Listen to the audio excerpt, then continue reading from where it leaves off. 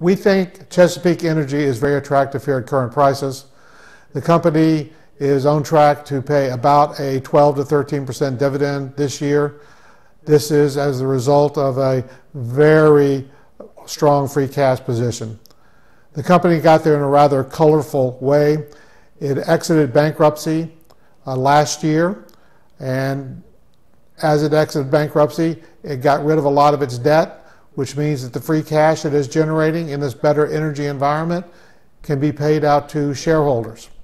Aubrey McClendon was the founder, very colorful.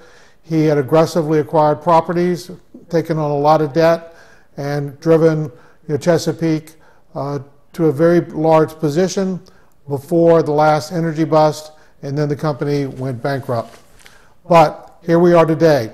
That bankruptcy is actually a godsend to Chesapeake Energy current shareholders. So you have an opportunity to buy a company with very little debt. They've uh, had a little debt here and there as they've um, acquired a couple of properties at good prices here recently, but the, the debt is very low, which means that they're generating about a billion dollars in free cash. This is on a company with about an $8 billion market cap. Uh, they're going to be able to pay most of that out into you know, shareholders as dividends. Uh, we expect the dividend yield to be somewhere in the 13% neighborhood. That is the company's forecast for this year. So we think this is very attractive here.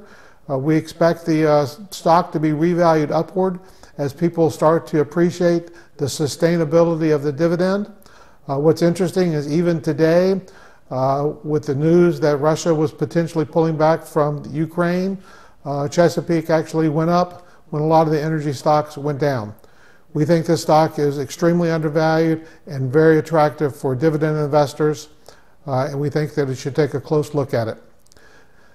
If you like this video and you think this is a good idea, uh, please like it and share it.